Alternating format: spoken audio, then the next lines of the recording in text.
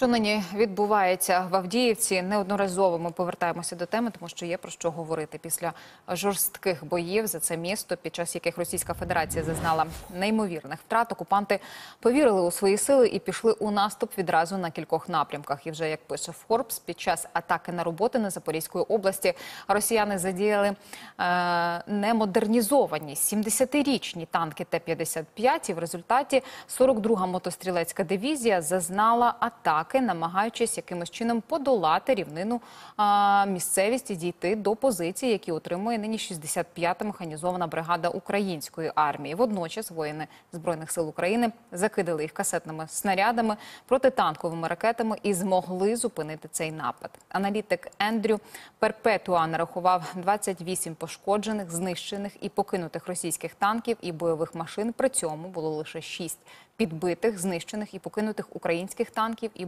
бойових машин.